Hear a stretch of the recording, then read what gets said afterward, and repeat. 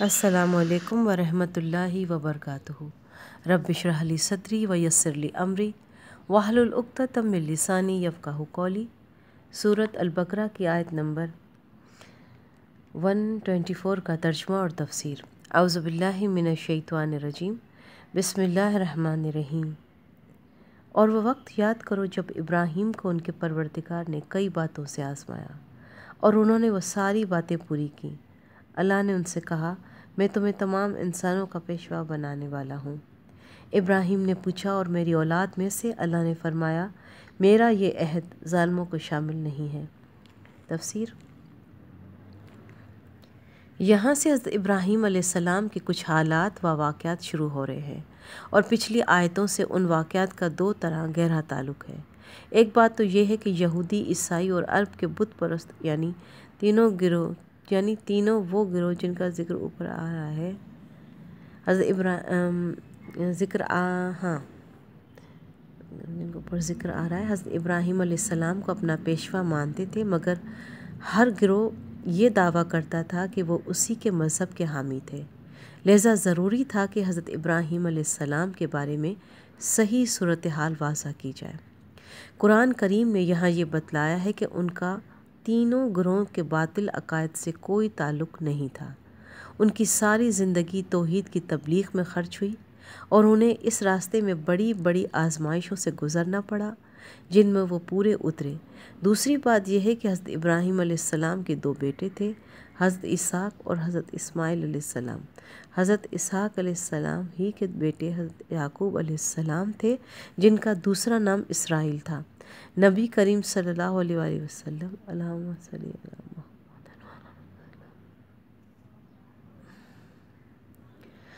نبی کریم صلی اللہ علیہ وآلہ وسلم، اللہم صلی اللہ محمد سے پہلے نبوت کا سلسلہ انہی کی اولاد یعنی بنی اسرائیل میں چلا آ رہا تھا۔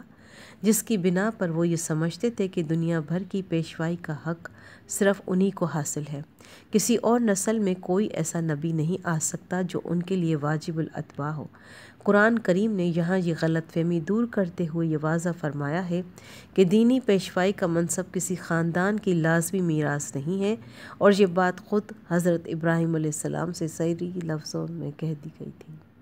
انہیں جب اللہ تعالیٰ نے مختلف طریقوں سے آزمایا اور یہ ثابت ہو گیا کہ وہ اللہ تعالیٰ کے ہر حکم پر بڑی سے بڑی قربانی کے لیے ہمیشہ تیار رہتے ہیں۔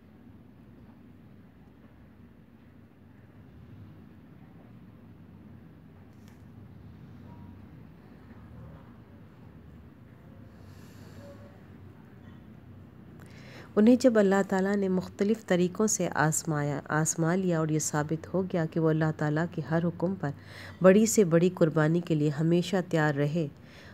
انہیں توحید کے عقیدے کی پاداش میں آگ میں ڈالا گیا، انہیں وطن چھوڑنے پر مجبور ہونا پڑا، انہیں اپنی بیوی اور نوازیدہ بچے کو مکہ کی خشک وادی میں تنہا چھوڑنے کا حکم ملا اور وہ بلا تعمل یہ ساری قربانیاں دیتے چلے گئے۔ تب اللہ تعالیٰ نے انہیں دنیا بھر کی پیشوائی کا منصب دینے کا اعلان فرمایا۔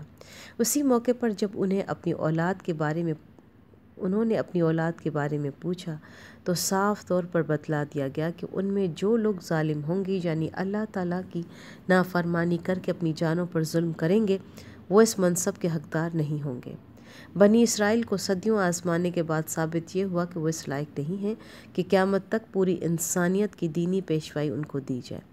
اس لیے نبی آخر الزما صلی اللہ علیہ وآلہ وسلم الحمد صلی اللہ محمد، اب حضرت ابراہیم علیہ السلام کے دوسرے صاحبزادے یعنی حضرت اسماعیل علیہ السلام کی اولاد میں بھیجے جا رہے ہیں، جن کے لیے حضرت ابراہیم علیہ السلام نے دعا کی تھی کہ وہ اہل مکہ میں سے بھیجے جائیں۔ اب چونکہ دینی پیشوائی منتقل کی جا رہی ہے۔ اس لیے اب قبلہ بھی اس بیت اللہ کو بنایا جانے والا ہے، جو حضرت ابراہیم علیہ السلام اور ان کے صاحبزادے حضرت اسماعیل علیہ السلام سے تعمیر کیا تھا۔ اس مناسبت سے آگے تعمیر کعبہ کا واقعہ بھی بیان فرمایا گیا ہے۔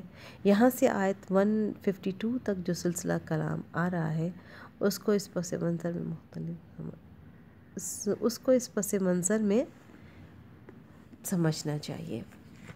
سبحان ربك رب العزة أما يصفون وسلام على المرسلين والحمد لله رب العالمين.